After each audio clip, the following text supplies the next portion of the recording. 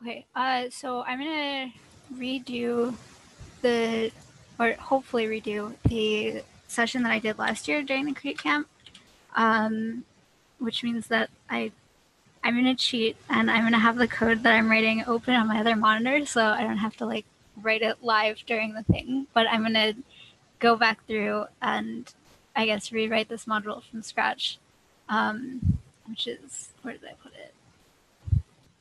Okay, so uh, I need to open this in Sublime. Do I have an book here?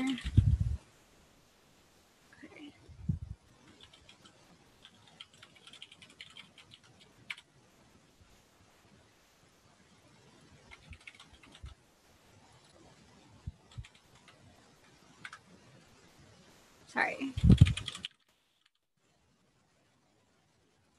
Okay, um, so frequently the advantage to using Lua over Cargo, or sorry, using Lua over Wikitext with stuff like Cargo um, and pretty much any scenario that you have where you have like a bunch of data that you have to display in a way is that it lets you have variables.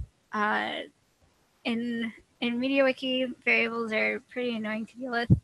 Um, and you can't have like easily have data structures and if you want to have something persist for a while then you end up having weird control structures where everything is a global and you're modifying the same thing from like seven different files and cargo wants you to have a template that you use in one place and then you have another template that you have to call from somewhere else and suddenly like seven different templates need to know about the same variable. They're all on different pages you have to open all of them if you want to make some change. And because everything's a global variable you have you don't have the ability to scope stuff. You don't have the ability to make sure that you're not taking advantage of an inner scoped variable later than you should be. So if you change something about that you have no idea what's going on. Um, and it just ends up being a mess. So in particular that means that lua is not very good for extremely simple things because if these issues aren't actually issues, there's not really any need to fix these issues. Um, so if you just want to have like a regular cargo table that you do a query and then you display a bunch of rows, being able to have scoped variables and stuff isn't really going to do you much good. So, um, so the example that I chose for this last year to have as the uh, example of something that we're going to do in Lua that makes sense to do in Lua is uh, to display a, a, table that has row spans. And why are row spans hard in regular MediaWiki? Um, because you need to count something. Because when you start the row, you need to give it the row span attribute. And you have like, you have kind of two choices. The first choice is to use var final, and the second choice is to like store all of your information into variables or arrays or whatever you want, and then only once you're done do you declare the row. And both of those really suck. So if you want to show a table that from a cargo query that has a row span, that is really not easy to do in regular wiki text, and you're going to end up with very, very confusing things that uh, that no one can really follow. Um, so before I go, so this is going to be our goal. You don't have to know anything about cargo to be able to follow this. Um, just there are cats that we're adopting. We're, we're running an animal shelter and we're adopting cats. They're they're very cute cats. Um, I last year when I wrote this, I googled cat names and then I took the four most common cat names and put it into my data table. Um, so before we do that, we'll take a quick look at, this is just, so if you've never written Lua before, um, so basically anytime you start with a new language, there's going to be some random boilerplate format that you copy paste into every single program that you write or every single module that you write. And you don't really have to know. Oh, actually, sorry, just to interrupt myself really quickly. Can someone read chat and then interrupt me if anyone has a question so that I don't have to watch chat, but that way anyone can interrupt. Yeah. Okay. So if you want me to stop or like clarify anything, then write in either Riot chat or whatever Cindy wants to pay attention to, and then Cindy will interrupt me so that I can answer the question. Because that's good. And there was there was already a request on the Lua classroom room on Riot for the link to your tutorial, which I put in there. So. Oh, okay. Um, yeah. So, so I think Vincent told me is blocked at NASA. So, because it's on Gamepedia.com. So he was trying to read this and you can't load Gamepedia. So hopefully that's not an issue for too many people trying to refer to this at a workplace. So I'm, I'm sorry that I work for a video game company. um, okay, so yeah, so Hello World, um, pretty much, so depending on uh, depending on your wiki, you might already have something in place for this, or you can just copy from Wikipedia. There's some random magic that you should not attempt to figure out in the slightest. That that I, I mean, I can explain it to anyone who's interested, but it's like it's really not worth learning early on because it's kind of complicated and irrelevant for the most part. Um, so you have this thing called a frame object, which is going to be the argument of your main function. And you can magically extract all of the arguments from your magical frame object. And on Wikipedia, and you can just copy from Wikipedia um, the arguments module. And I guess they use uh, they use get args. So literally just copy paste this from Wikipedia when you're writing your first module. Um, and I guess I'll post that in the Lua classroom. Right. Megan, I'm, I'm thinking it might help some people if you increase the font size a little bit. Right. That's always an issue. Okay. I'll have to do it like per site. Oh, bummer. Um, but yeah, okay. So I'll, I'll try and do 150%. Um, yeah. So, so this is just complete magic. Don't worry about how it works.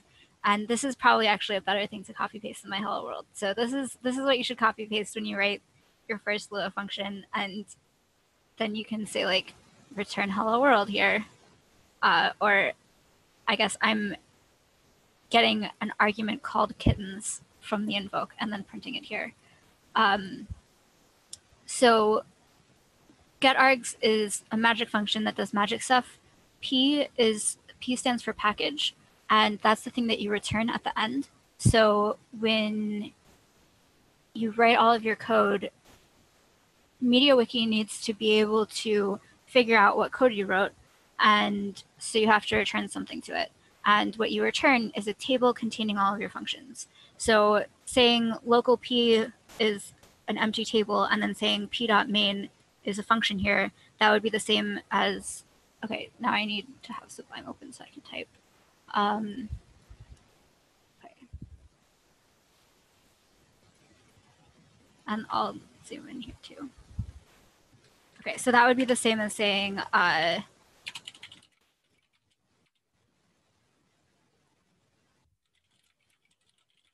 so you can uh, do it like that. So you're actually just returning a table of functions at the end. Um, a convention that I like to do is uh, I have this H table, and H for me stands for helper, and I put all of my helper functions into H, and that allows me to call functions before I define them because that's just the order I like to write stuff in. But then I want P to be relatively free, so I want that or like free of uh, random clutter, I guess. So I want that to only contain the main function. So I put everything else into H, and the stuff into P. Um, you don't have to do that if you don't want to. You can just put everything in P or whatever. Um, so one thing that you should avoid is you shouldn't do something like this. Um,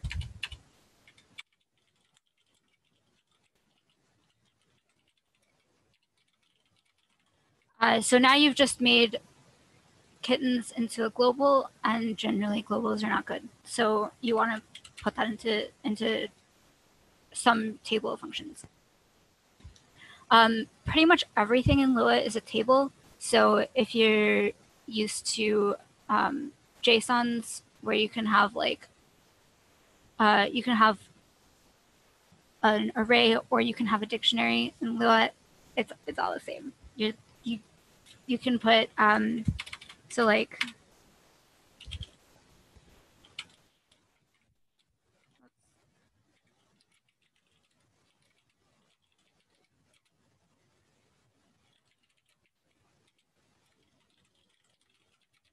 So that's that's allowed to happen except for else is a keyword. So there we go. Um, so this is an allowed object.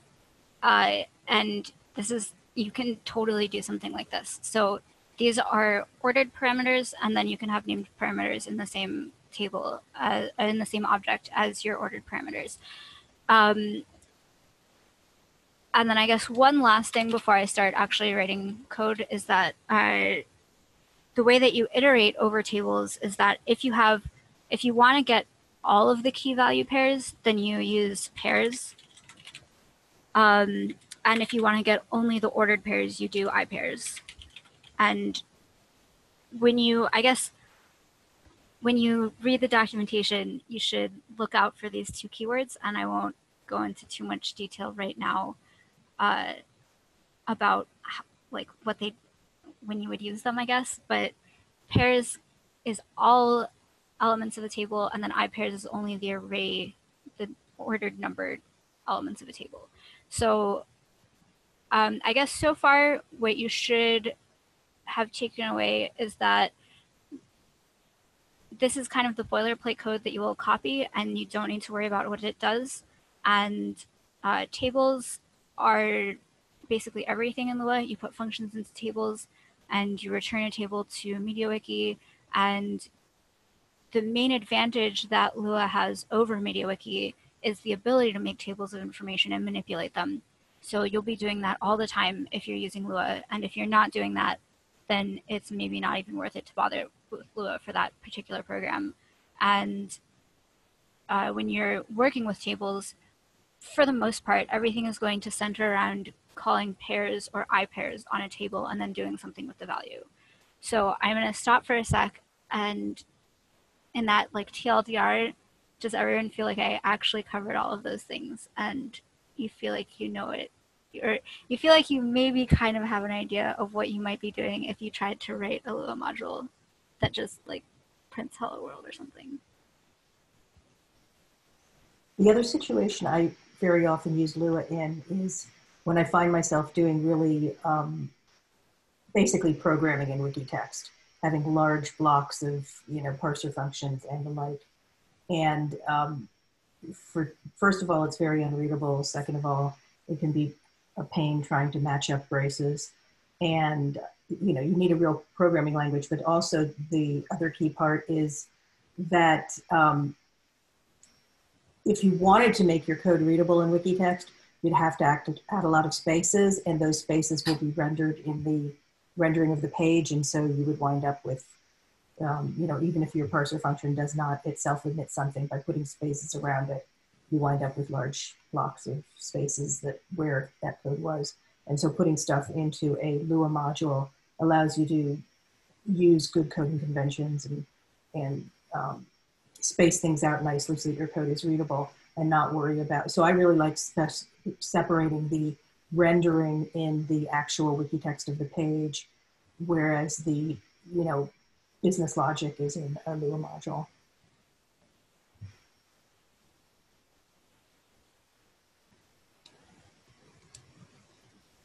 Okay, so er, is everyone good? And I yeah, I don't see any other comments. Thank you for talking because that let me open the page I needed to open in Sublime because I definitely opened the wrong page before.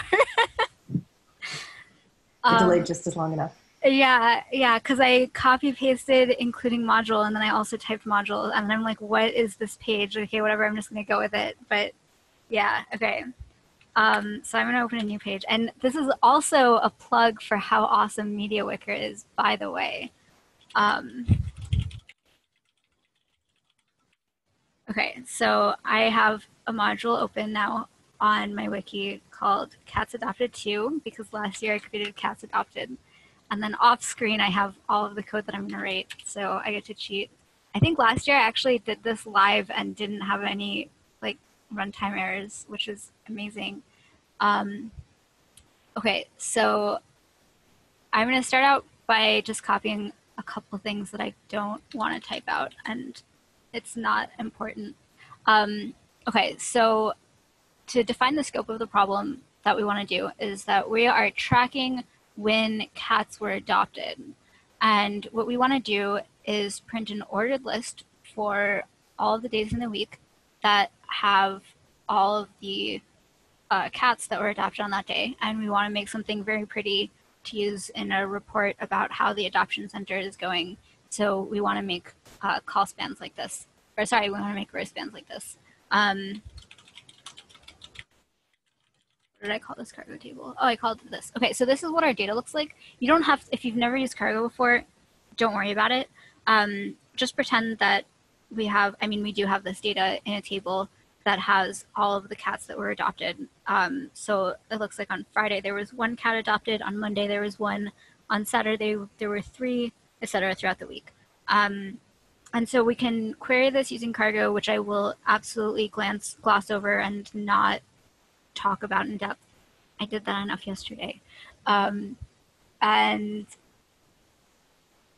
we'll end up with an object in our module that has all of this data in it. And then once we have that object, we're going to just print it into a table. So one issue is that, as you can see here, the days are ordered alphabetically, and we don't want to do that. We want to order our days by actual day of the week. So we're going to tell, there's, there's two ways uh, that we could tell our module which way to order the days. And you can either, and so again, there's these is two ways that you can use tables. So this is an array where this is the same as saying like one is Sunday, two is Monday. Um, the because it's given without a key, the order is just implied. So key three is Tuesday. Um, and just a quick word of caution, the like this um, that's not the same as having a, as as this. Um, you can have a string which is an integer or like a string representation of an integer and that's different from the integer.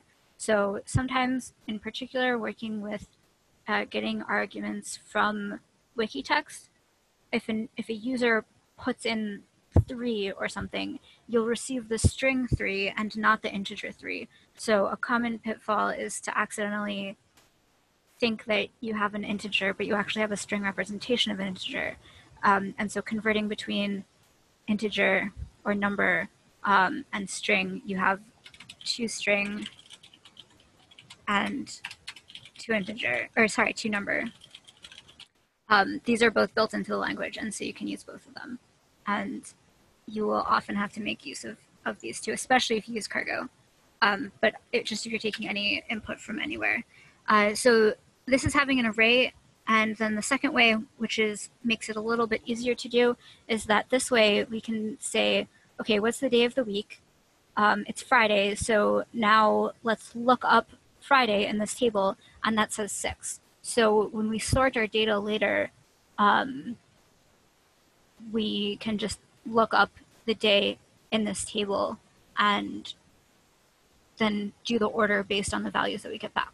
So does the, does the idea of the two types of tables make sense? And also, do you think you understand how we, or I guess why we would want this to be able to sort the table the way we want it? Or does anyone not understand that? Makes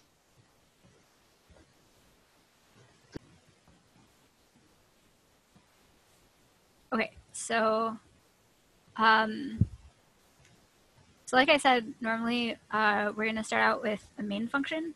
Um, so, oh, and then uh, one thing that you might have noticed, um, one thing that you might have noticed here is that I wrote uh, util args gets require module args util. And if you look at Wikipedia, um, they put a function here also. So if so when you have this from Wikipedia, um, then you would call this with like get args but for mine, um, you, I, I'm append, I'm telling it what index the function is at later when I call it, and in the Wikipedia version, they only import the one function instead of importing the entire module and having everything available. I have a lot of random utilities in utilargs, so I like to import the entire module instead of one single function. Um, my convention is that if I'm importing a single function, I give it a capital letter. If I'm importing an entire table of functions, then I give it a lowercase first letter. Um, so having conventions like that can help, but I guess don't don't be thrown off by these two different ways of importing. One where you import a single function and one where you just import a table of functions, and then you have to say which function you're calling inside your main code. Um, so here, uh, I create a table of functions, I put nothing in it, and then I return p. I could put this, I could save this, and then I could invoke it, and it wouldn't throw any error. It, or I guess I couldn't invoke it because I don't have a, a, function to, to invoke yet.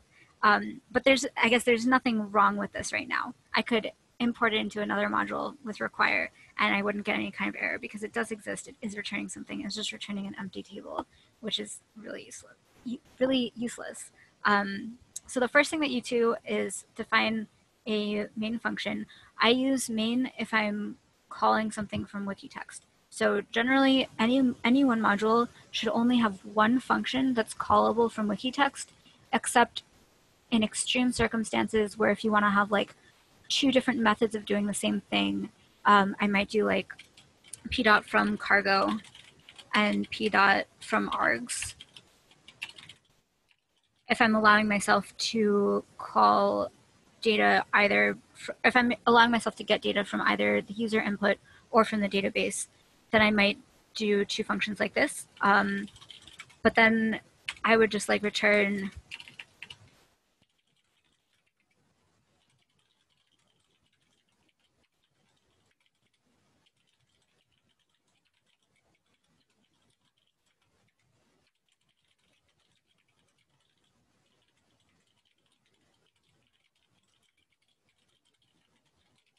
So I basically these two would be just acquiring data in different ways and then immediately executing another main function um, or another another function which I would call main underscore because it's not called directly from uh, from MediaWiki anymore. So barring situations like this, you should only have one function per module that's callable from Wikitext. And this is, I guess, an anti-pattern that I see a lot is people having more than one function that can be called from Wikitext. And you should definitely not do that um, unless again it's like this where it's basically just the same code except being run and being wrapped in two different ways of getting data.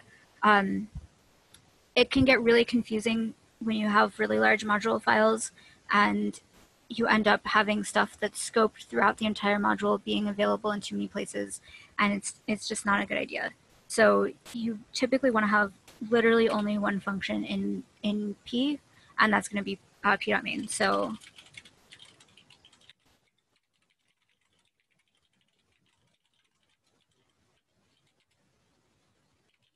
Okay, so like I was saying, this is the boilerplate. You don't need to know what this does. It's just going to give you some args. It's going to give you a table because everything in Lua is a table.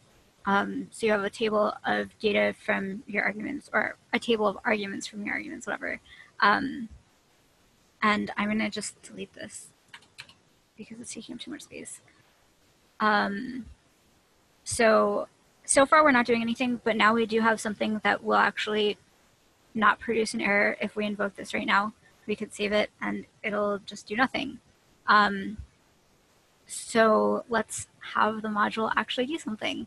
So typically I like to write the main function first and I try to have main functions be a general rule of thumb is less than about 10 lines.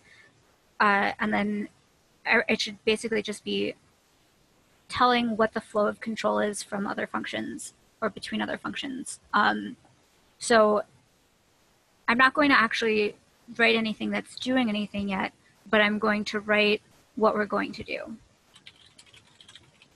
Um, so like I said, I like to put uh, non-wiki, non-called from Wikitext it's really hard to type and talk at the same time. Wow. Okay. Um, I like to put other functions into a separate table so that they're not exported in the package. Um, so I'm just going to create H as a helper table of functions. Um, the first thing I'm going to do is I'm going to construct and run a query and that's I'm actually just going to copy paste that because I don't want to go too much into the cargo part of it. But that's going to give me the information about the cats that we're adopting and then I will do the rest of the logic. Um, so then once you have, so there's, you can treat your, so uh, I guess there, there's there's an argument to be made that once you have your table of arguments from the user, you should never edit that because you want that table to always reflect exactly what inputs that you were given.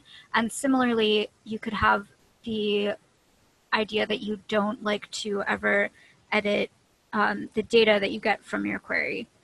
Uh, so when I wrote this last year, I I was of that opinion that those once they're once they've been created, they're just read only for the rest and I don't really feel that way anymore. I prefer to edit stuff in place for the most part. Um, so I guess I'm going to change this a little bit in uh, because I, I, I don't do that anymore. So um, then I'm going to say uh,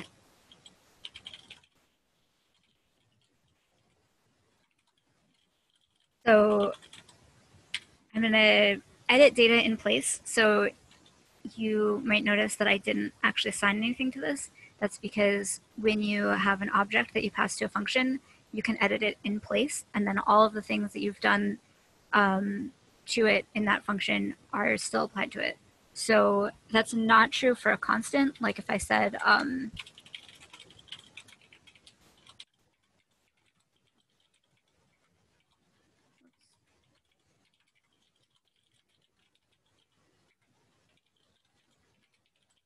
if I did something terrible like this, then uh, then I'd still be returning cute. I wouldn't be returning not cute because this is just a constant. And so constants are not passed as references, but objects are. So um, since this is data, uh, so now, so now when I'm returning this, um, it does actually remember that I've assigned not cute. Um, so yeah, so TLDR, we don't actually need to assign anything here because um, this will be saved in data. And then at the end, I'm going to return h.make output of data. Um, I reuse these function names constantly. Um, normally, I actually just call this function process data, but that's not a great name. But because I have a global convention of always doing it, it's kind of okay. Um, you should try and make conventions for how you name things as early as possible. So for example, for me, the word print always means to append additional nodes to an mw.html object. You don't have to really know what that means, but the point is that if a function is called print something, then it you know what it's doing. If it's called make something, then it's always instantiating an mw.html element and then returning it.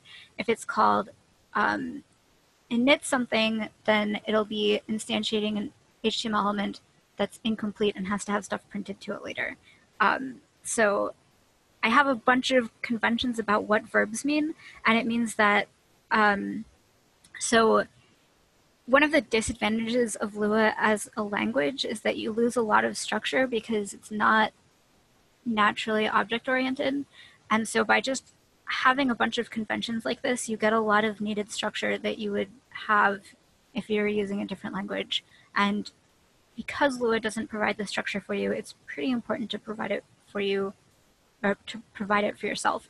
So I'm going to put a huge caveat with like, it would be really, really, really difficult if tomorrow you wrote your very first Lua module, but prior to doing that, you had to write a whole style guide for everything, and you had to make sure that all of your functions were named properly and flow of control was always very clear and everything made 100% sense, that's obviously not going to happen. And if you tried to make that happen, I'd say you're wasting your time because you need to just write code.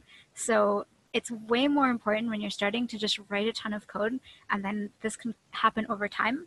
But I think you should always have a goal of trying to make better global conventions as you go and also have an ingrained philosophy of continuous refactoring of old code that you wrote.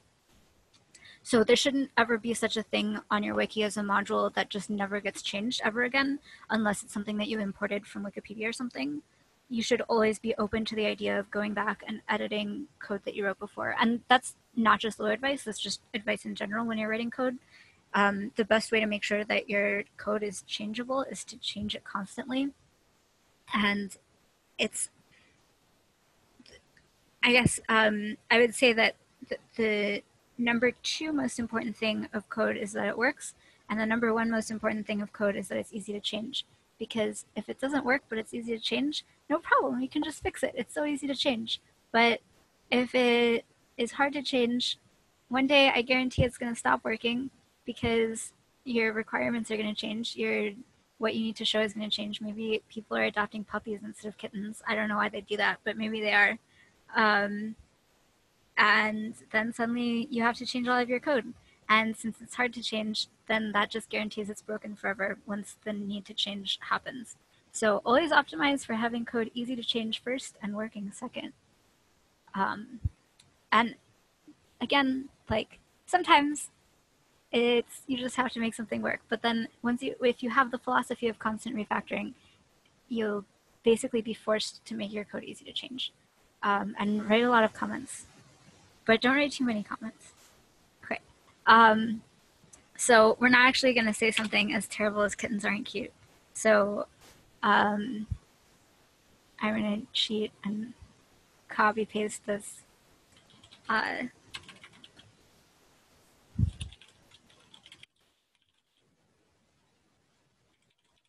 okay, so I'm going to pass args here just so that in the future, if I wanted to change my query so that it had it used information from args. I could do that, but I'm not doing that right now. So args is just passed here as an unnecessary parameter, but that's something that makes it easier to change later. And then I'm just going to collapse this and we're never going to think about it again. So uh, what have we actually gotten from this? Um, so what, what we received from make and run query is going to be a, a, data structure that looks like this. Um, it's a table. So I'm actually going to, instead of calling it data, I'm going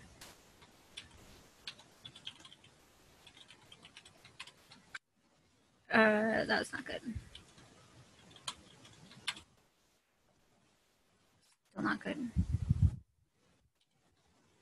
Um, there we go.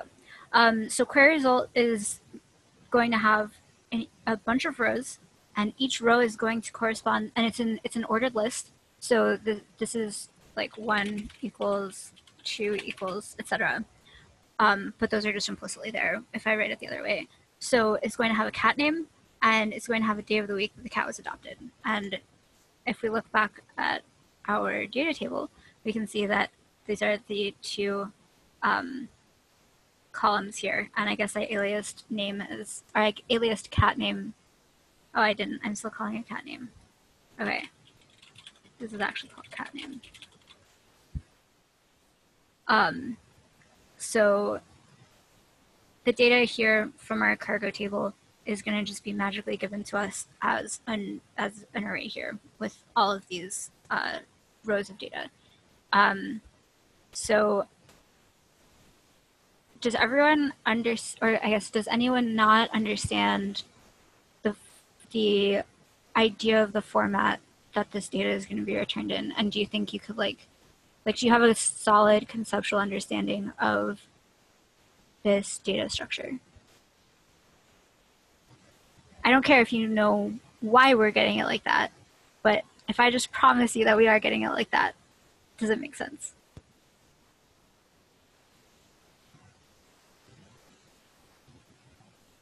Yay. Okay. So oh. I'm gonna um so I I'm like really thrown off by how big all of the text is. Um, so I'm going to scroll a lot. But so keep the structure in mind because that's what we're going to be passed here um, when we want to process our data. Hmm? One quick question from the chat um, uh, from Vince. Uh, we are grouping by day, correct? Okay, no. We are going to later group by day, but we're not adding a group by to the cargo query. Um, because so if we if we added a group by day to the cargo query, or here, I guess probably people who know cargo actually want to see this, so I shouldn't have hidden that. Um, util Yesterday, when I was talking about cargo, I mentioned that you should always, always, always make your own personal wrapper for cargo. So this is my own personal wrapper for cargo that does a bunch of magic. Um, I don't. act- I, part of my wrapper sets the automatic limit to max, so this isn't needed for my wrapper, whatever. Um, but yeah, there's no group by here because if we did do a group by, then I wouldn't actually get all of the individual cat names. Um, and part of the reason this is so difficult to do from Wikitext is that it's one of the things that Cargo does not do particularly well is support one-to-many relations to be queried from Wikitext. So one-to-many is like each day has multiple cat names that were adopted that day. So we have like Saturday, there's a bunch of rows here for Saturday and a bunch of rows here for Sunday. And so if we were just going to do a normal query from Cargo, we would get literally this table that has Saturday Jack, Saturday Max, Saturday Milo, and Milo? I don't know. Um, and we wouldn't be able to do like Saturday Jack, comma Max because they they just doesn't support that. So I actually wrote a module that attempts to let you do easy one-to-many querying um, from Wikitext by just invoking my module instead of invoking car instead of doing a cargo query directly. But I'm not going to talk too much about that right now because the point is to learn how to do in Lua. Um, but if we were going to do a group by, then we would get the what we would get returned is that we would have one row for Saturday, and then it would just pick one random cat, and then one row for Sunday, and it picks a random cat here. Um, if we did an if we had an order, then I think it would pick the first cat alphabetically, but maybe it would pick the last cat, cat alphabetically, and that's actually dependent on what SQL you're using. So if you're using MySQL, it might be different from if you're using whatever other uh, database. So group by pretty much when you're doing a group by, the only two things that are okay to query are one values that are the same in the group by. So um, like the Saturday will always give you Saturday because that's true for every single row in the group by by definition of the group by.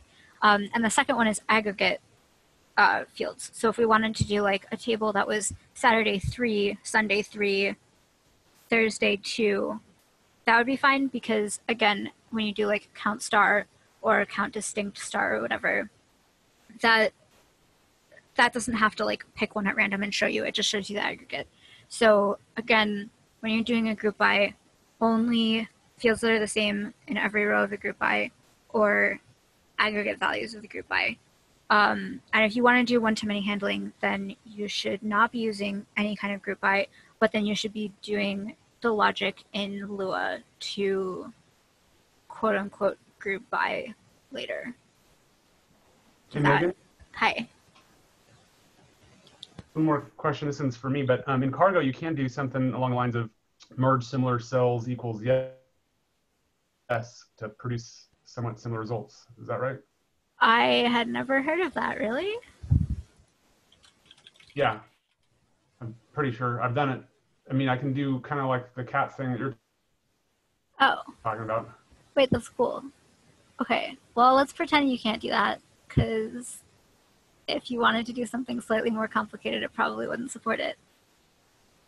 Um, Yeah, and it breaks down sometimes the way you kind of want to do it, especially if multiple columns you want sorted in a certain way. You have to kind of do it by order, and then it does some weird things. right. And then also, okay, so maybe I guess I could change this example slightly so that you want to do an ordered list instead of doing a row span.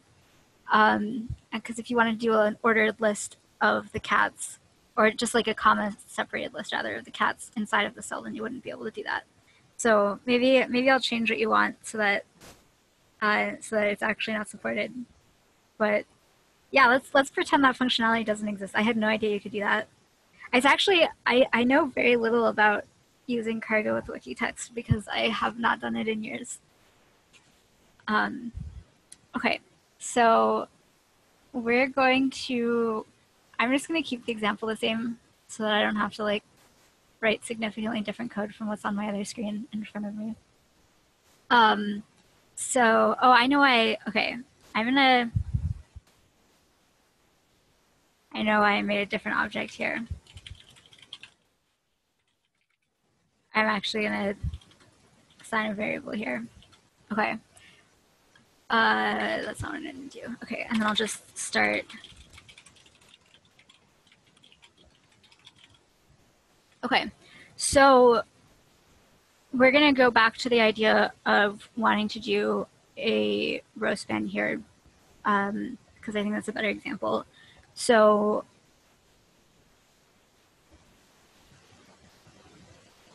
what we need to end up with is each row is going, so each row of our output data is going to be a day of the week not a row of the table. So it's somewhat frustrating that row has these two different meanings. So I always say tr for table row and row for data table. And I always name my variables like that.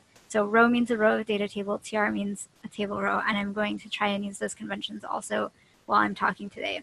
And I recommend you do the same conventions because otherwise it is so unbelievably confusing because row means two completely unrelated things. And also this week I was working on some code for cargo and the two meanings of table were like driving me crazy. And so I renamed all of the wiki table to wiki table and then there was some sanity restored. So whenever you have like two words that mean, or whenever you have one word that has two just different meanings in your code, rename one of them so that that doesn't happen because it is very, very confusing. So each row of our data table is going to correspond to multiple TRs of the table and of the wiki table. Um, and so we're going to want to have day of the week is Sunday, and here's the full list of cats. So we're actually going to have to have a table within each row of all of the cats because we need to we need to print them all. And we also need to know how many of them are there are so that we can do the correct span in our um, day of the week cell. So what we, this means, what this means that we need to do is reorganize our entire data that we got from cargo. So remember, it looks like this right now, and we need to make something that looks like this. Yay, copy pasting. Um, so I like to call this an ordered dictionary because that's effectively what it is. Um, so we have these ordered uh, ordered elements of the table. So again, this is one, two, three. And then Sunday is also a key of its own data table. So um, here we're going to have a list of cats. So uh, whatever cats are in, I don't think these are the Sunday cats. Um, so there's going to be a list of cat names here, and that's going to be the cats for the day. And this will make it easier later when we want to iterate through everything and pull all the information together. Um, we will be able to just look at the list of cats according to day instead of doing the parsing later. So a, a, another rule of thumb where it's going to be this caveat where I say, well, don't worry about it when you're starting, but is that you never, ever, ever want to do logic at the same time as printing something. So printing, when we'd have this make output, we should not have to do any more data processing at all. um, maybe we get the length of this table so that we can do the correct row span. But ideally, we wouldn't even have to do that. Ideally, we would even have like, um, this would look something like, uh,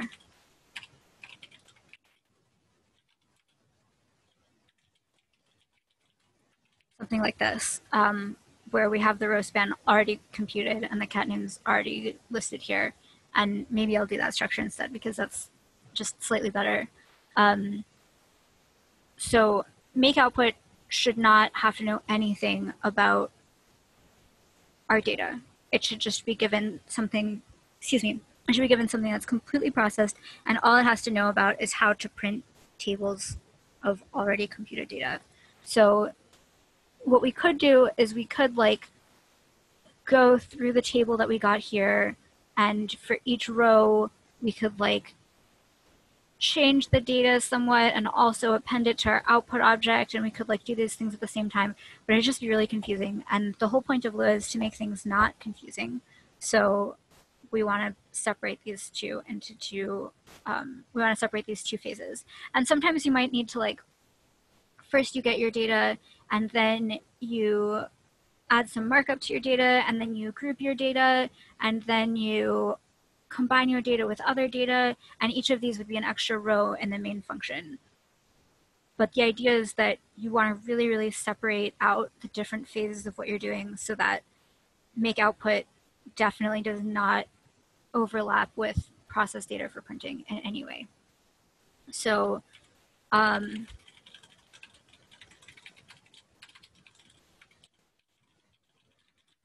the most common error that I get when I write Lua modules is that something is nil because I forgot to return a value. I don't know if, Cindy, does that happen to you also? Or is that just me? No, it happens to me too. Constantly. It's Yeah. literally my most frequent. It's so common that at this point I'm I actually am really good at debugging it because it's my first guess anytime anything doesn't work. Look for the return. Yeah. where where did I forget to return something? Um, so I would encourage you to, whenever you're doing something where you initialize an object and then return it, I would encourage you to write these two lines first. But I will also caution you that you are never, ever, ever going to remember to write these two lines first. And whenever something's not working, the first thing you should check for is, wait, did I remember to return anything? And the answer is probably you forgot to return anything. Actually, you'll probably have a lot of random errors at, at, at the at the at the start, and that's expected and normal. And don't don't be sad if you have constant errors. But one day when you've written enough code, this will probably be your most common error is that you just forgot to return something. Uh, but we're not, that's not going to be an issue because we, uh, we're returning this here. I'm sure I'm still going to make the same mistake somewhere else, even though I have the code on my other screen in front of me. Okay, so before I mentioned how pairs and ipairs are these really helpful functions. If you know Python, uh, it's like enumerate. Um, if you know PHP, it's like when you have the for each and you put a key with an arrow before the value so that you get both the index and the value uh, for every row that you're doing something. Um, and I don't actually know how you do that in JavaScript, but that language sucks. I don't care. Uh, so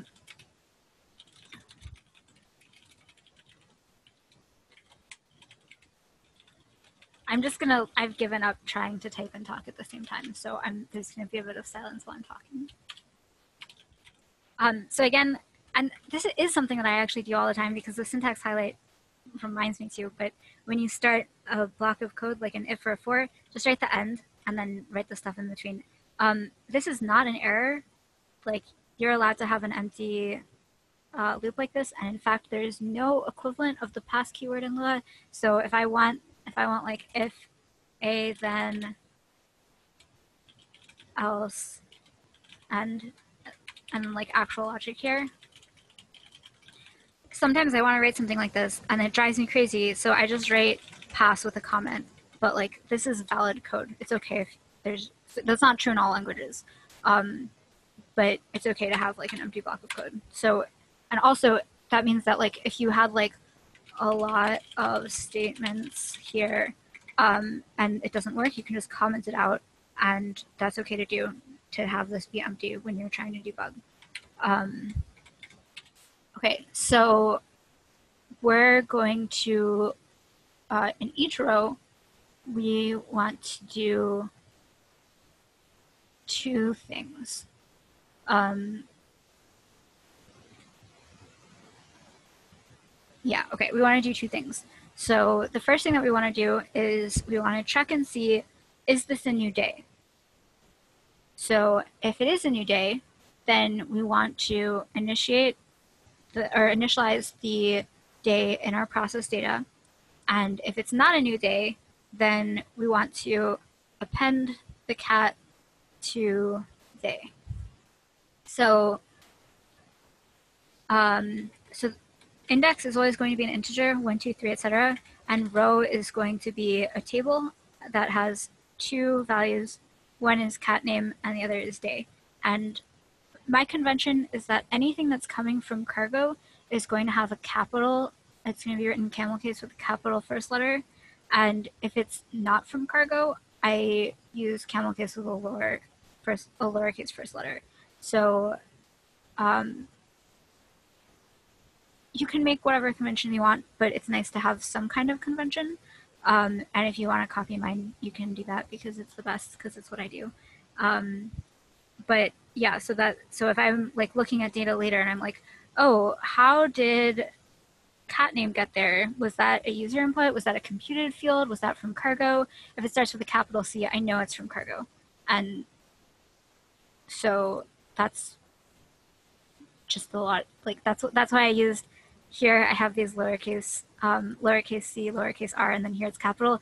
That's like 100% deliberate and completely by design. Um, so some people use lowercase field names in cargo, and I disagree with that very strongly. I think you should capitalize the first letter of, uh, of tables and field names. Um, so anyway, so you might have kind of noticed that um, if I write like row.cat name, that's going to give me the index. Um, you can also write like like this, where you have the actual index is written out as a string inside of brackets, which makes it a little, so this is like in Python, you have to do fields like this uh, always, and in like JavaScript, you can also do row.catName. Uh, when I when you're starting out, I would suggest doing it more like this first syntax because uh, it's just a little bit clearer, I guess. And I wrote it. I wrote all of my um, row indices like this for a really long time um, until I started doing it like this. But I will say that having a having a good syntax highlighter helps a lot because you can notice that this is green because it knows that it's uh, a key. And then if I put parentheses here, it would turn it to pink because now it's a function. So being able to just glance at my screen and see that um, and see that the index here is green, and so I know it's a string key in my table. Um, syntax highlighting really, really helps with a lot. And the syntax highlighting that you can get in your browser, the absolute best syntax highlighting you can get in your browser is still really, really terrible compared to using um, an actual IDE or Sublime Text. So another reason to use Mediawiker is that Sublime's Lua code definition is actually amazing. They pushed an update in June last year and it had a lot of bugs and I reported a lot of them and they fixed them all. And so it's great now. And I actually really love how, okay, so if I like remove the comment here, it knows that these indices are strings and just everything is so good. This is so much better than the old Lua syntax definition. So also if you're using Sublime and you haven't upgraded to I think 3.3, you should do that because they made Lua awesome. Um, okay, so I guess I talked for a lot of time now. Does anyone is anyone confused about anything or want me to go back to a topic or slow down? I have one general question. How do you normally debug and kind of build your code? Um, are you, you know, typing a little bit and then going and invoking it and checking it? Um, Or- so I, okay, so what I generally do is I will write like the minimum viable product of something that I can run and get output. And once I've done that and I've debugged it, then I start adding one feature at a time. I'm like, all right, so now I need to format this cell. And it's kind of like TDD, test driven development, except for I'm not doing tests, I'm doing it live in production. um, and so I'm like, all right, this is the next thing I'm going to do. And then I do that. And I tab between, I alt tab between um, whatever page in my user namespace that I have open with the invoke and Sublime where I'm editing. And I, so when I'm writing a new module, I'll probably save it anywhere 50 to 100 times in the first like five hours because I'm constantly resaving. Um, and I think it's very valuable to do a little tiny piece of code at a time so that when it stops working, you know precisely what you edited to make it stop working. Um, and then there's also, because saving it to the wiki commits the version, um, you also have a much more robust robust version history. So you're not scared about losing previous revisions if you broke something and then had to press Control Z and you don't know how long to press Control Z. So uh, for a long time, I've wanted to try like actual test driven development, but that is very difficult to do in this environment because you're making like you have to make all of your outputs are HTML outputs and I don't know. I it's something I want to try, but it just seems like very annoying and just like pseudo test driven development of like decide one feature, code it, preview the page again, code the next feature, preview the page again. Uh, it works pretty well for me. Sometimes I'm like, this is a really straightforward, simple thing. I'm just going to write all 200 lines of code and then I'm going to test it. And every now and then I really regret doing that, but I've done enough coding at this point that you sometimes it's okay. So I I wouldn't say that like it's required to always use this process, but it's I think it's, I think it works well, especially when you still don't feel super confident about what you're doing.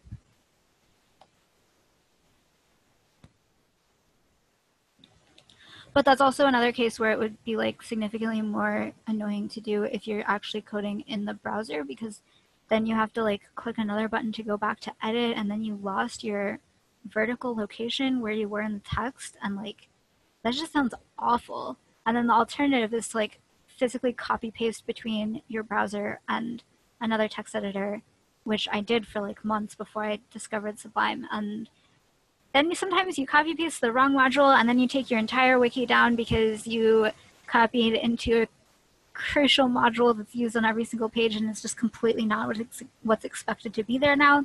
So then I wrote an abuse filter where the first line of every single module was a commented name of that module. And if the module didn't have that commented name of the module as the first line, then it would just refuse to save.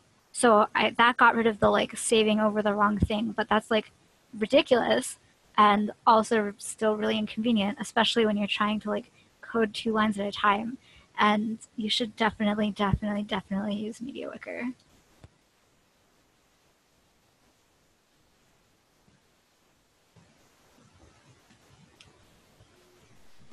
You have me convinced. Yay! I just need to find time one of these days to install it. I can help that's you. That's amazing. I There can you help you. And I have to say, your abuse filter suggestion is just brilliant. A lot of your suggestions. so bad. just brilliant. It was so bad. Oh my god. And then I like had to, and then I when I took the abuse filter offline, and then now I'm doing everything in Mediawiker. I just see all of these comments, and I'm like, oh my god, I have all these commented things that I have to delete now. So that was fun. Classic. Hey, Megan, you have somebody else in the chats that uh, you may have convinced and they're interested in wondering uh, the best documentation or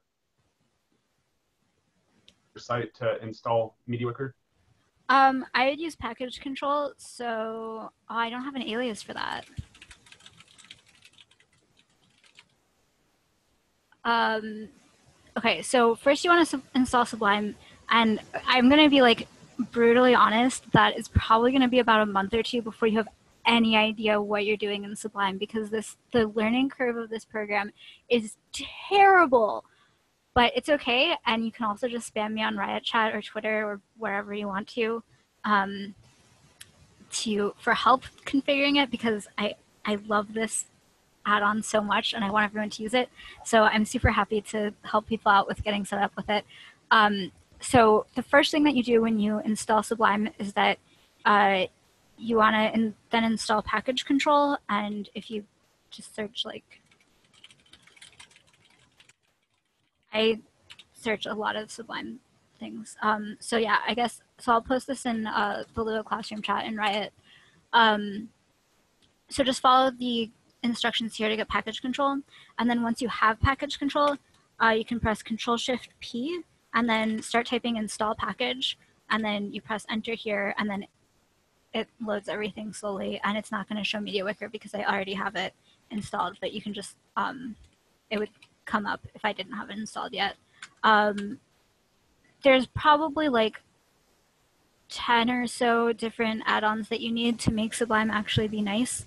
Um, and maybe maybe that'll be my next blog post will be a list of like add-ons that I think you should have in Sublime if you're editing Lua modules uh, in MediaWiki.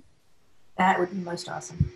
But okay, yeah, I'll do that. There's, I use a lot of add-ons, um, and I also use I try to use one syntax highlight per language, so that and it it works pretty well of making me like I don't accidentally type Python code when I'm trying to code in Lua, etc. Um, so I recommend doing that, but then managing having all of these syntax highlights is very annoying. But yesterday, I discovered a new add-on that lets you preview syntax highlights in your current language only, and it is so good. So I'm really excited about that. Sublime is the best. Um, but yeah, definitely package control and then install Mediawiker. And I have like a lot of packages. This is probably about half of my packages. This is the package that I found yesterday. Um, yeah, and then you can do stuff like uh, there's one that when you press Control T lets you jump between all of the open modules that you have. Um, I usually have four windows of Sublime open, and each one has like anywhere from five to 30 open modules in it. So yeah. Okay, so any other questions? Not in chat right now. Okay, so I'm gonna get rid of this because that was just for example, and then so uh, what I'm gonna do is something that I typically would not bother doing, but um, it's probably a good idea because it makes stuff easier to read early on, like early on when you're coding in Lua. Um,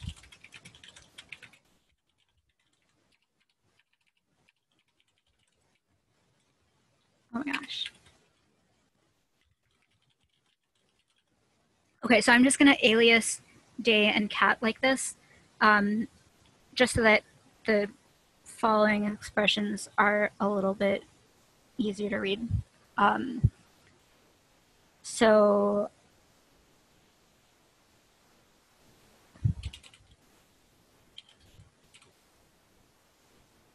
um,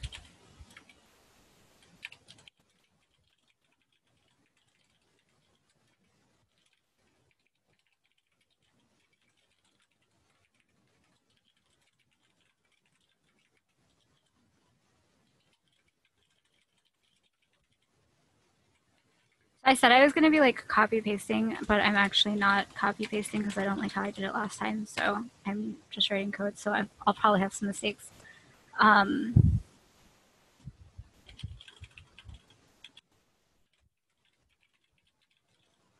okay, so after aliasing um, J and cat to be these two uh, things, and I could like say this right? Because J is just an alias for row.cat or row.day. And again, I, everything is declared as local. So you always need to remember to make stuff local because like I was saying at the start, one of the huge advantages of Lua is that you get scoping for all of your variables instead of using the variables extension and everything is global to your entire page. So you really want to take advantage of um, of the ability to have scoping like this and don't ever make any global objects unless it's constant, and even then you probably still don't want to.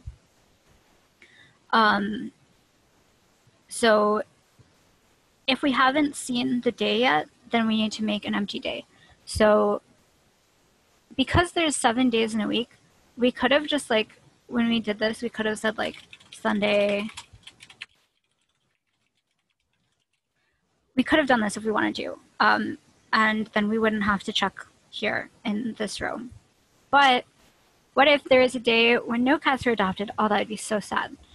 Um, but for real, when you're doing a random example, it's very likely that you won't actually know the entire potential set of keys ahead of time.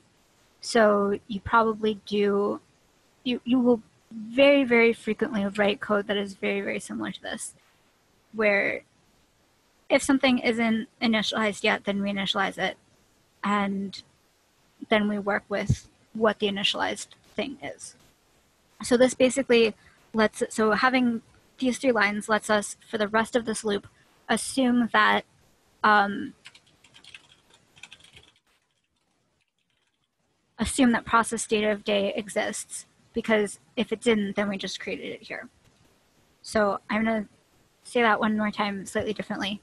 Um, if you if you try and use this this expression process data of day before day actually exists as an index in process data, then this expression is just going to be undefined. It's not going to exist. It's not going to throw an error. So in Python, for example, this would throw an error if it wasn't defined yet. Um, in Lua, this is just nil. So uh, this is a true statement that uh, process data of day equals nil. Um, but if we try to do like, if we tried to append another key, so cat name, and remember that's the same as saying cat name like this, that is an error because you're not allowed to get the index of something that's nil. So you're allowed to have something that's nil, but you're not allowed to get the index of something that's nil. So we do need to create this table to start out so that we can do stuff to it later. But we're only going to do that if it's not already defined. And then it, you'll you'll notice here that we're actually taking advantage of the fact that this does not error in Lua. It would be slightly better, whoops, it would be slightly better to say um, if this explicitly equals nil, because another thing that we could say is like, let that be false, and then it exists, but it's not true. So in that case, when it's false, this evaluates to true, and this does exist.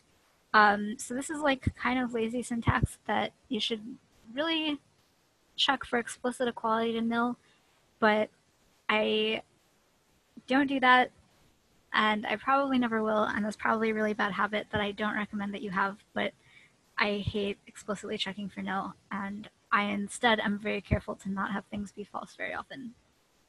Um, so we now have a guarantee that our day, and remember our day is Sunday, Monday, Tuesday, is going to be a string like that.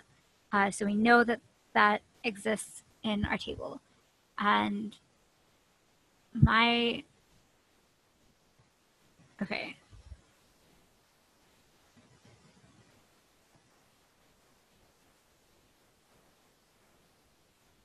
Why am I, okay, so.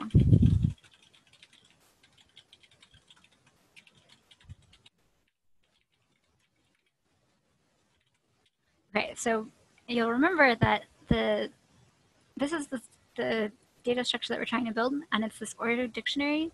And so actually, we need to do two things with each day.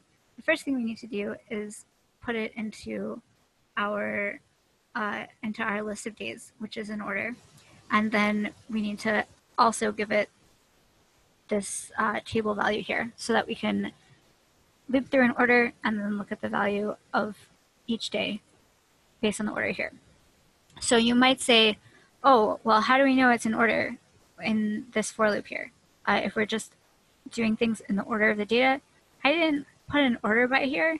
And the answer is we, we don't. And that's deliberate so that I can show you how table.sort works later. um, but in actual code, you would probably want to use SQL to do the ordering and you would put an order by whatever. Um, but we're not going to do that. So we, we do not, in fact, know if these days are being added in order and that is by design for the purposes of illustration. Um, oh, my code did do that. I just, I, I see. Yeah, okay. So, um, so do you understand why we're like what this entire block of code does? And do you think that this is something that you could reproduce in a similar situation? Or does anyone not understand it? Or I guess, does anyone think that you would benefit from me saying more things about this?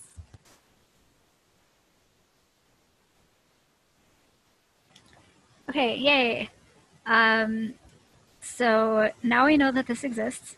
And, uh, oh, I, okay, someone should have said that they didn't understand this because I didn't explain this yet. Okay, so this is append. This is how append works. And you're like, what? There's no append method in Lua? There's no append method in Lua. You, so remember how I said that it doesn't, it does not error to call a key that doesn't exist yet. So the length of the table plus one is a key that does not exist yet, and we can just assign data that. So that's how we append something and in Lua to a table. Yay. Um, I actually wrote a function called append that I use if it's a very complicated expression because sometimes it'll be like, I'll find an actual example. Oh, I called it push, didn't I?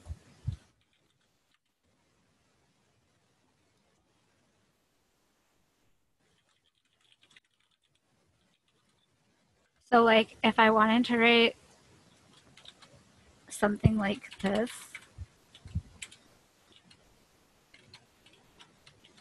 are, are you are you actually kidding me? I'm I'm not writing this shit.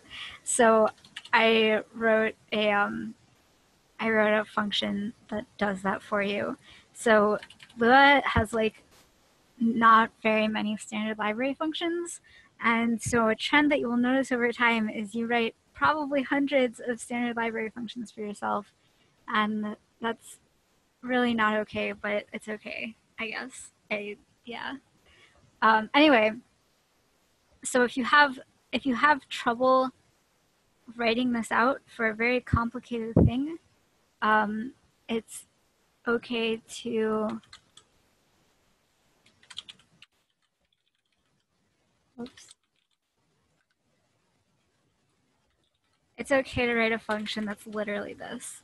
And that's like a common theme in general for, well, I guess for coding in general, but also for coding in Lua, is that like a lot of functions are very, very, very simple, like insanely simple. Like this is literally all that it does.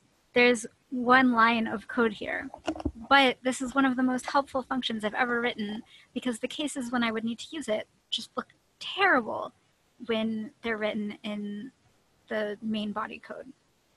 And I don't like that. So if you think that writing a one-line function to use as a utility function is going to make your life easier, you can totally do that. There's no rule that says that like uh, functions all like in in English class every paragraph has to have five sentences. There's no, you can have functions be as short as you want. So uh, feel free to write very, very short utility functions that do very few things and then use them constantly. And it'll have the side effect of people who aren't you will have no idea what all of these functions all over the place do, which is also not good. So you should also document it very, very carefully and make that documentation very visible. Like, for example, having a comment here, but then also having like a full list of every function that's available um, is nice to have, which I don't. But yeah. Um, anyway, so that's how, what, uh, so number means length. So the length of the table plus one and assign date to that. And a lot of things in Lua work like this, where you just have something that is nil and it's okay to have a nil uh, value in a table. Um, incidentally, the way that you delete something, so if I wanted to say like, so if I have like process data.sunday and I want to do it for everything except for Sunday, so at the end I want to say delete Sunday, you don't actually delete, you just say like gets nil. So the value of every key that's not in the table is nil. Um, nil is the same as undefined in JavaScript. Um, it's it's not false. It both nil and false evaluate to false, but nil is nothing, whereas false is actually a value. Um, so okay. So now that we have uh, now that we know that we have a table of information for this day, um, so now this is going to be a list of cat names. So, and now you can see how this syntax is kind of annoying. So uh, that is that is not set up like this. Um, that's set up the way I originally did it with like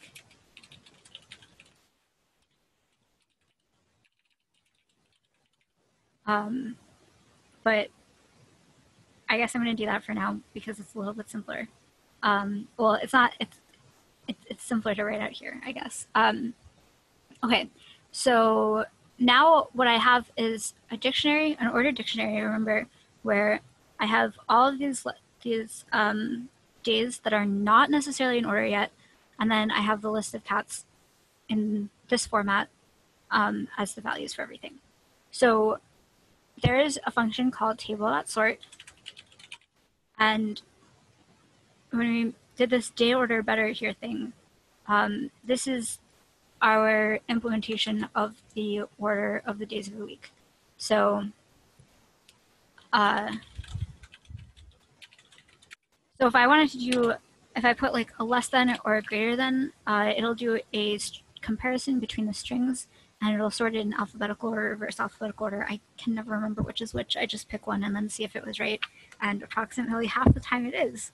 Um, so, sorry, one sec. Okay, my voice is dying. Um, so instead of sorting by greater than or less than, we actually want to make a custom function, which you can do, and we're going to do that now.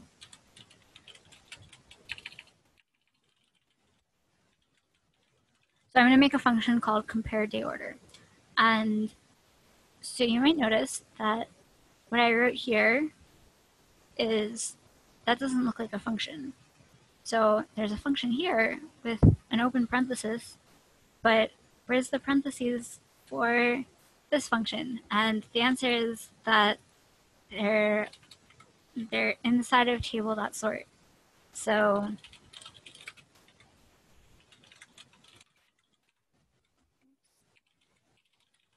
And I want to copy paste this because it's a long line. So when you put the parentheses after a function, that's when you execute it. And we actually, we don't want to execute date, compare day order and then pass that into sort. We want sort to actually have the function. And we want sort to be able to call the function. So um, and this is similar. Get args is a function here. And then when we did this assignment um, to get args, there's no parentheses here, even though get args is a function. And that's because we wanted to store the function into get args and not the value of the function into get args. Then we can call get args later on because this is a function and now we're actually evaluating it and storing that into args. So similarly, we're not evaluating compare day order here. We're actually sending the function to table.sort and table.sort will do the evaluation as it needs to. And um, when you're writing a custom sort function uh, for table.sort, it takes two values. And these are the two values in the table that it's going to compare to each other.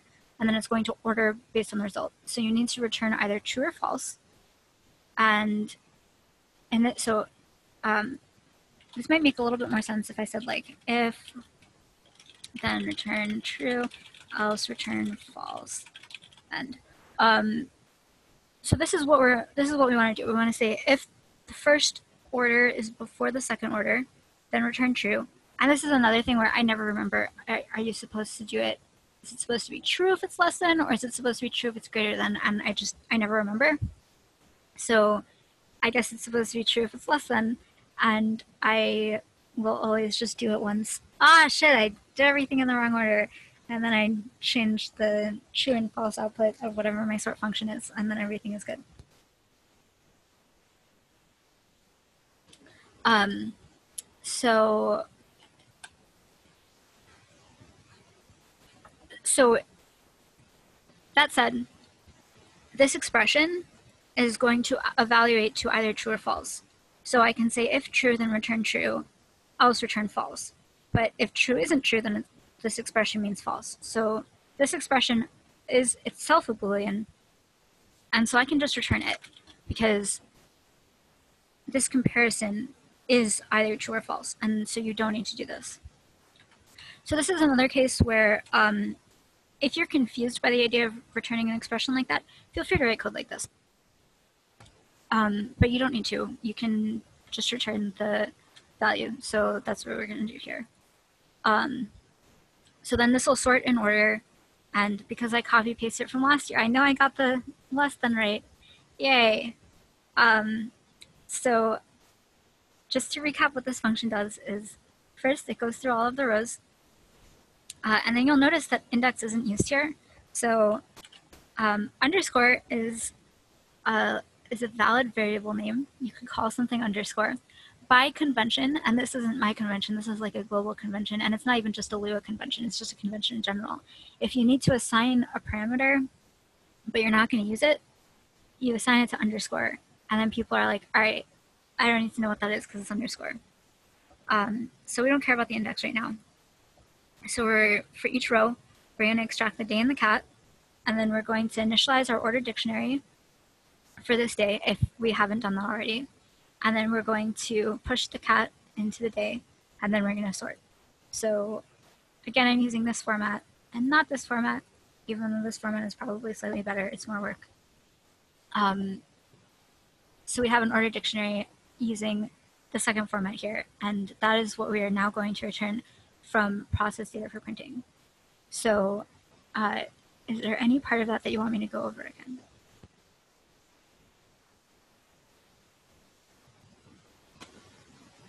Okay, also I guess I should ask, because we're now at twice the amount of allocated time for this, I think.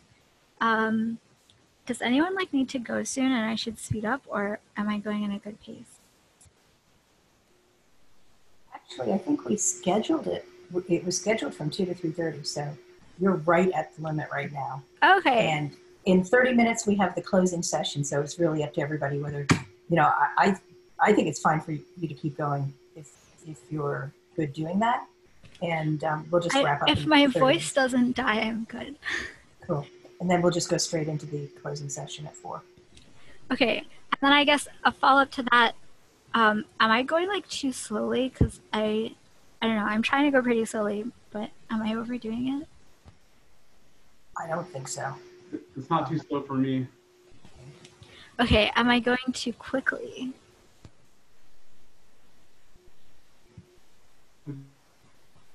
I think it's about right. I mean, there's some things I'm I'm gonna need to revisit myself anyway, but I'm getting concept. We will have this. Up, we'll have the video up so people can go and watch it three, four times slowly. Yeah, and as, as long as as long as Gamepedia isn't blocked at your place of watch, I guess everyone's working from home, so that doesn't even matter. Yay! But they, but they can at least they can at least watch the video on YouTube because the video yeah. will be uploaded to YouTube, so they'll be good. Um, yeah, I'm gonna. I'll end up saving this to the wiki so you can see this year's versus last year's. They're very similar. Um, Brian Brian had mentioned that on um, mwstake.org there's a copy of some of this. I think did I understand that right, Brian? And maybe it would be a good idea to move the tutorial there so that it wouldn't be blocked. Oh yeah, I could do that. Yeah, I didn't. You know, I just basically found your source and copied it over. So a lot of the um, modules that you're invoking, you know, aren't going to work, but uh, a lot of the stuff that the user might need to copy and paste to get this to go. Uh, okay, yeah, there's there's somewhat of a caveat asterisk thing here with all of this, which is that my cargo util module requires like seven other utility modules, and then they in turn require a bunch of other stuff. And probably to like actually make this code run on another wiki, you need to copy at least 10 random utility modules. Um, I was not exaggerating when I said hundreds of like quote unquote standard library functions because nothing is built in. Um, every now and then I will write a function and then like months later I'll be like, oh, that, that is built in. And then I'm like, I just don't care. I'm not, I'm not going through and changing all of this that I've been doing for so many years. Um, so it's very difficult to copy code from my wiki because of this. But if I intend code to be copied, I try very hard to not use very many utility functions. But I didn't want to, I very purposely wanted to hide args and hide cargo. So that's why I have these requires here. Um, but I guess in some sense it doesn't matter if the thing actually runs because uh, uh, you just need to see the code. Okay, so we're gonna make output now. Yay! Um, oh, I did this. Okay, so what is the first thing that I, well, okay, so I'm gonna say local output. What is the ne very next thing that I should do in this function?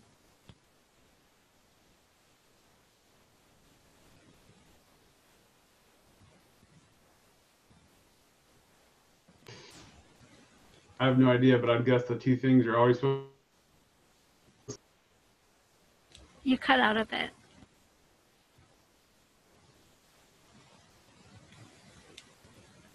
Brian, you cut out. Uh, I, I had a random guess. I had a random guess. It probably wasn't right. Um, so for it.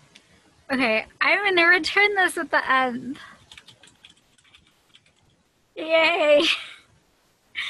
Um, so I have another convention that output is always the thing that I'm outputting. And so you would think if I have something that's output, I would always remember to return it and you would be totally wrong. I never remember to turn output. So, uh, so this is like the boilerplate code for make output is to make output and you initialize an mw.html builder and then you return output. Um, so I also use, I use TBL for table, uh, for a MediaWiki table. Um,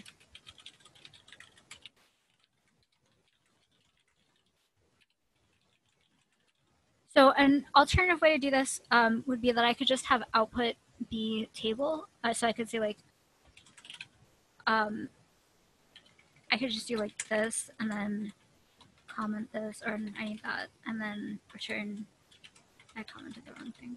Um, so I could do it like this uh, and where I'm creating the table and then I'm making a wiki table and I'm returning it.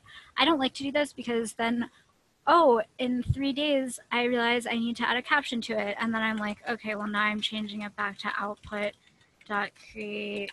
And then I'm doing this. And then I'm like, output wiki text make caption.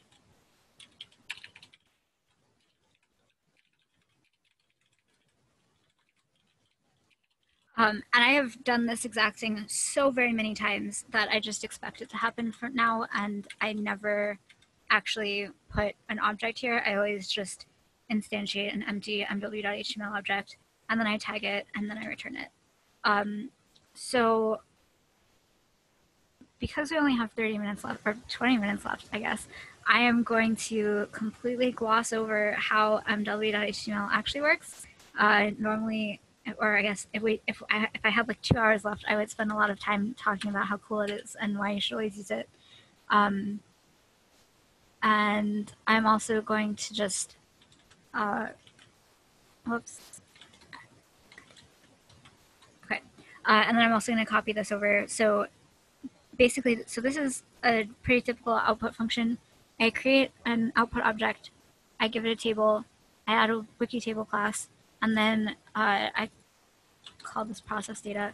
Um, and then I'm really not doing anything here.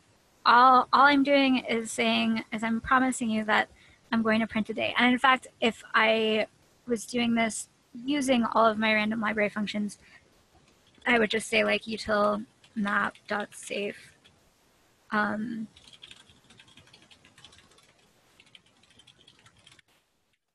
and I would uh, I would call this just kidding. Um, and so that would that would basically just execute this, um, but it's like less lines of code. So the point is that similar to the main function, make output is generally very short, and you delegate stuff as much as possible. Um,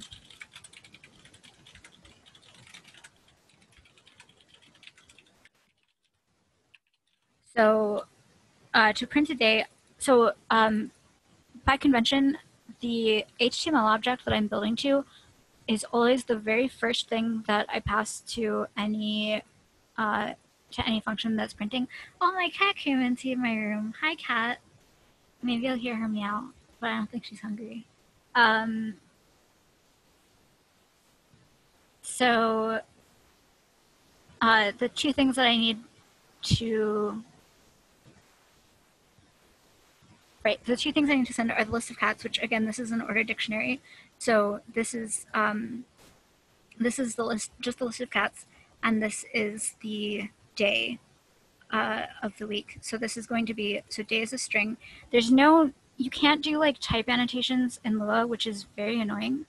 Um, so I often try to put the type of a variable into its name, which generally is not a thing that's recommended to do anymore, but that's only because languages usually have things like type annotations and Lua does not. So it can be very valuable to include the type. So I could say like JString um, or cats table here. Uh, and then it would be like very obvious and totally feel free to do stuff like this where you actually encode the type of the object into the object's name. Um, even if you like read coding best practices advice and it says don't do that anymore, um, in Lua, it makes a lot of sense to do that. Um, so, okay, I'm like starting to feel time pressure, so maybe I should just copy paste code and then explain it. Um, okay, well, I'll, I'll keep typing, and if I get to, when I get to 10 minutes, I'll copy paste the rest. Uh, so the first thing I'm going to do is create a new row, a new TR, so a new table row. Um, and then remember that I have a list of cats here and a day. I want to. oh. Okay. Excuse um, me. Okay. Um, Just just one question. Didn't we need to return the table instead of the output actually? oh, that's actually a really good question, and the answer is no. Um, so an- the HTML object is uh, a series of um, like you can think of it like Russian nesting dolls, a series of nesting containers of HTML data, and so the we're so the output holds a table, and now we're making the table hold a bunch of TRs, and then we're going to make the TR hold a bunch of TDs, etc. And um, there's a method, the tostring method, puts the entire object to a string for output. Um, and that's implicitly called when we return it. So we don't have to, so we could do like tostring like this, um, but we don't have to because it's implicitly done when we return something to Wikitext. But anyway, uh, that encodes both the current object plus all of its children into Wikitext. So we want to return the outermost object that we created. Okay, thanks. Yeah, thanks for the question. Um, if we had more time, I would also talk a little bit more about where you are in the object. But just remember that what we're doing here with table, we're not like, don't think of this as creating a table. Think of this as aliasing a place, aliasing a location in the output table. So, or I guess creating a node in the output table and aliasing it. So we've added a table node to output and we're aliasing it as TBL. Here we're adding a TR node to TBL and we're aliasing it as TR. So TR is just a location inside of table inside of output. Um, it's not its own separate object. Um, so the first thing that we're going to want to do is we're going to want to uh, we're going to want to print the name of the day.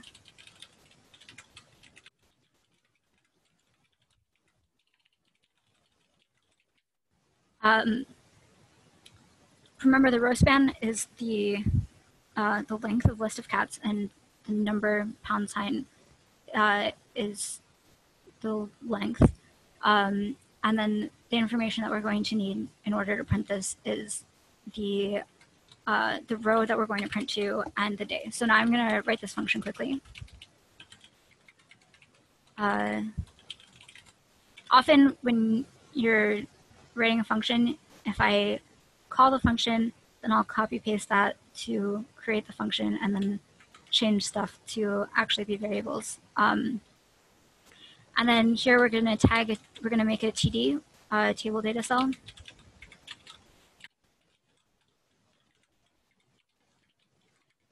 Uh,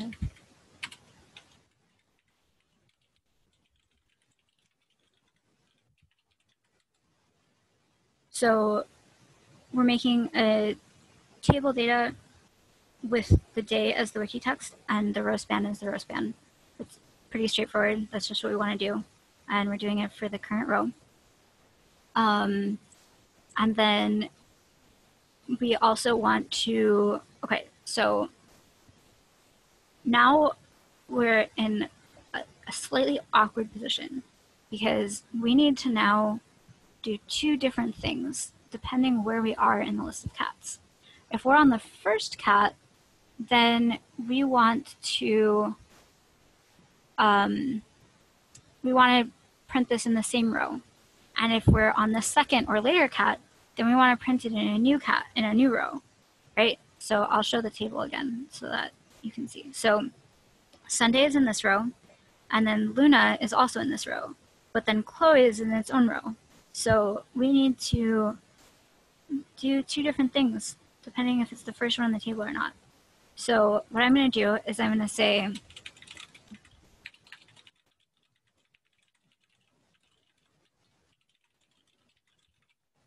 so I'm taking out the first thing in the list of cats and I'm giving it the variable name first cat. And then I'm going to say print cat of the first cat. How do we print a cat? It's even easier than printing the day name. Again, this is cat. Um, we just make a table data and then we add wiki text cat. Okay, so now I need to print the rest of the cats.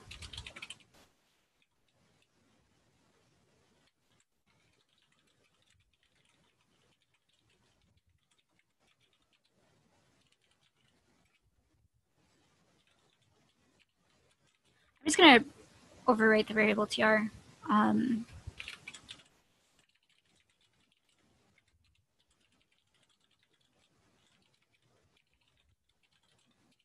okay, so for the first cat, we reuse this table row, and then for the rest of the cats, which is the things that are left over in list of cats after you remove the first thing. By the way, Lua is one indexed. Lua being one indexed is great because MediaWiki is also one indexed. So the indexing of our scripting language matches the index of our environment, and that is great. And that's why we should not put JavaScript into Scribunto. Um, or I won't use it if we do do that. I don't like JavaScript. Um, so if anyone tells you zero indexing is better than one indexing, tell them it's more important to maintain parity with your uh, with the context that you're coding in. And it would be it's, it's very, very convenient that Lua is one indexed for this reason. Anyway, uh, if you didn't understand that, it's totally okay. One index means that uh, the first index in an array is one. Zero index means that the first array in an index is zero. And there's advantages and disadvantages to both, and most developers agree that zero indexing is nicer. Um, but definitely one indexing is really, really nice because it matches MediaWiki.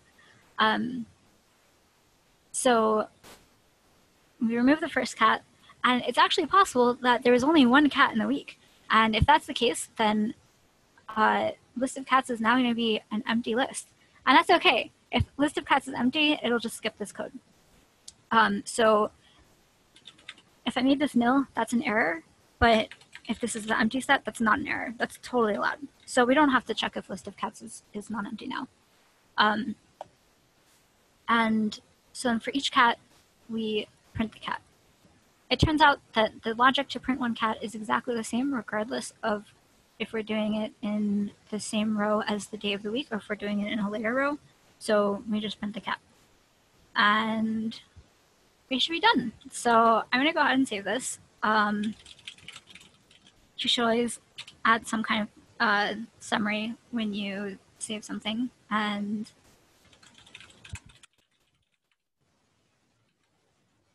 let's see if I wrote this right.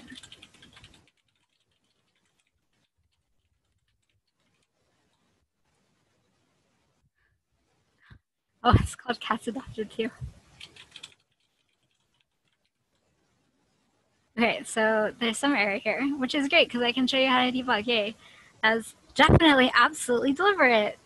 Um, so we click the error and then it says, okay, the most recent error was in uh, line 58 in function process data for printing.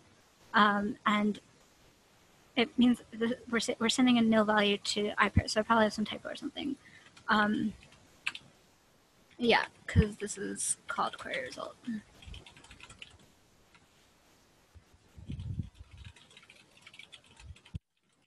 I renamed stuff from last year. Um, so now we preview again. And there's a list of cats! Yay, we did it! Um, so now what we could do, so normally, um, so now I'm just saving this as a sandbox page in my user namespace. Uh, Oh, and I don't have care inserts on this wiki. Oh, I don't have anything on this wiki. So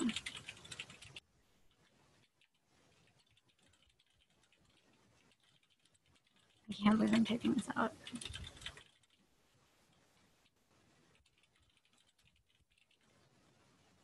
Okay, so now I have a temp. Oh my gosh, don't do that. Okay, so now if I want to do this, I can just say call the template. And then the list of cats is printed. So we did it. Yay, Yay. that's beautiful. Congratulations. Very nice.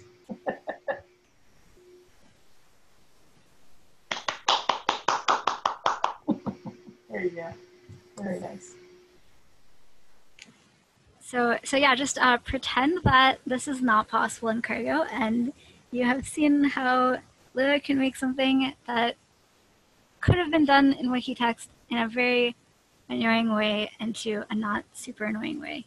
Um, and it's 100 line of codes or 100 lines of code, but most of it is like there's a bunch of comments here and stuff. Um, so yeah, so this is like, and this is a pretty reasonably close to an actual real life scenario that you might want to do. Um, so let's um, let's pretend that let's change it a little bit, I guess. Um,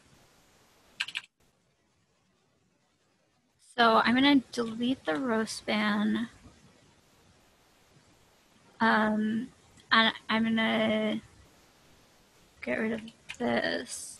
Okay, so if we changed the requirements of the project slightly and we said, okay, so we don't actually want to do a row span we want to do a comma separated list of cats in each row. And the reason that we want to do this is so that it's actually a, a problem that Cargo can't easily solve with a built-in function unless there's another one that I don't know about. Um, so we actually don't need this either. Um, so we're going to make our table row. We're going to print the day name, and then we're going to say print list of cats, tr list of cats, we don't need the col span here, or the row span here anymore, so I'm to delete that from this function also.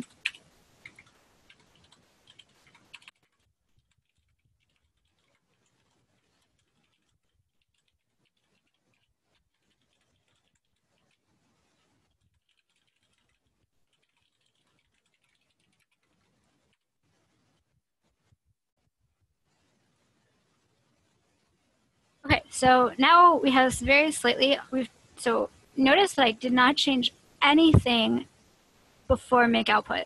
And in fact, I didn't even change anything in make output. All I changed stuff was print day. So print day print day name, and print list of cats. So these are the only three functions that I changed. Everything else is completely static, and I've significantly changed the output. So if you wanted to have an ordered list of cats inside of the day, you can do that instead. And actually, this was significantly easier to do that because we didn't have to do the special case for the first cat nonsense that we had to do for um, when we when we did it with the row span version. But this is so this is like imagine if you were doing this in Wikitext and you were asked first to do it with the row span and then they were like, oh, just kidding, this takes up too much vertical space. We want to do it in line with a comma separated list. That would be like such a nightmare to redo. But in Lua, we just changed three functions and really those three functions could have just been one function if I wasn't like trying super hard to um, make short functions. So we changed very little and we completely changed the output like this, but it's the same same idea and use the same data structure to construct to construct it. So Lua allows you to have very, very flexible stuff and we only we, we didn't have to edit more than one template. Um, we didn't have to worry about changing any kind of global variables.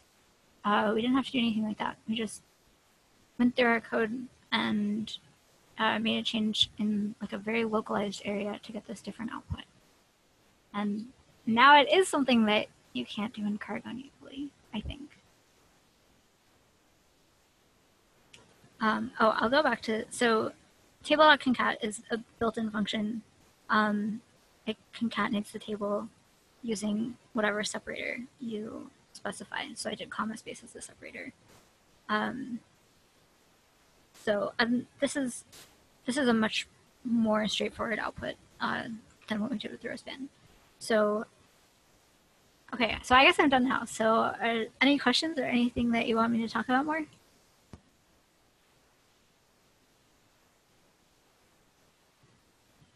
No question, but it was very good. Thank you.